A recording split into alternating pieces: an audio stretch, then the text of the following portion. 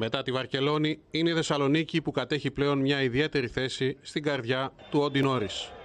Δίνει στον Νόρις. Οι Ισπανοί προσπαθούν να εξαντλήσουν τον χρόνο. Μένουν 1 και 41 για τη λήξη. Σολοθάβαλ πλησιάζει στο καλάθι αστοχή, αλλά ο Νόρις με ένα εκπληκτικό φόλεο κάνει το 91%. Ο Αμερικανός, άλλοτε άσος της Μπαρτσελώνα που αγωνίστηκε τρία χρόνια στο NBA με το Portland και έκλεισε την καριέρα του στην Ελλάδα με το Περιστέρι, είναι και φέτος η ξεχωριστή παρουσία στο κάμπ του Θερμαϊκού Θέρμης, ενώ θα είναι βασικός ομιλητής και στο σεμινάριο του Συνδέσμου Ελλήνων Προπονητών. Στα 56 του χρόνια, ο Νόρις έχει δική του ακαδημία στη Βαρκελόνη. Really... Μας μίλησε για το project, του είπε ότι ε, η φιλοσοφία του project είναι τα παιδιά να γυρίσουν στα βασικά του μπάσκετ, να μάθουν και οι παίκτες τα βασικά του μπάσκετ, γιατί κάνουν τις κινήσεις που κάνουν, να φύγουν λίγο από αυτό το τυποποιημένο το μηχανικό. Ε, και νομίζω ότι ευχαριστώ που ρωτάτε. Είναι ένα project το οποίο είναι ένα όνειρο ζωής για μένα και μέσα από αυτό προσπαθώ και καλύτερους παίκτες να κάνουμε και καλύτερους ανθρώπους για την κοινωνία.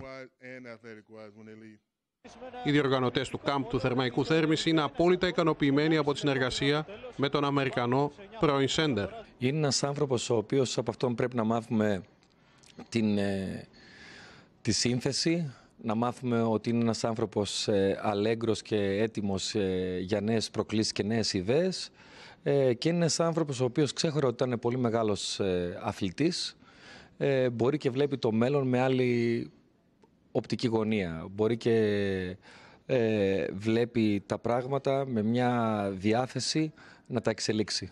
Ζητήσαμε από τον Όντι Νόρις να ξεχωρίσει τον καλύτερο παίκτη που έχει δει στα ευρωπαϊκά γήπεδα. In Europe, I would have to say probably Sabonis. Ο πιο δύσκολος αντίπαλος που αντιμετώπισα προσωπικά είναι ο Άρβιτα Σαμπόνι, ο οποίος είχε ένα τρομερό μπασκετικό IQ, σούταρε, έπαιρνε θέσεις, έκανε απίστευτα πράγματα. Είναι τρομερά δύσκολο να αντιμετωπίσεις. Πάντα αναρωτιόμουν ποιος είναι αυτός ο μικρούλης, ο κοντός που κάνει αυτά τα απίστευτα πράγματα και βάζει αυτούς τους πόντους. Ήθελα πολύ να τον γνωρίσω και φυσικά τον γνώρισα με τον καλύτερο τρόπο και αυτός ο άνθρωπος μιλάει για τον Νίκο Γκάλ, έχει μόνο τον απεριόριστο σεβασμό μου. Για τον κορυφαίο στο NBA δεν είχε τον παραμικρό ενδιασμό.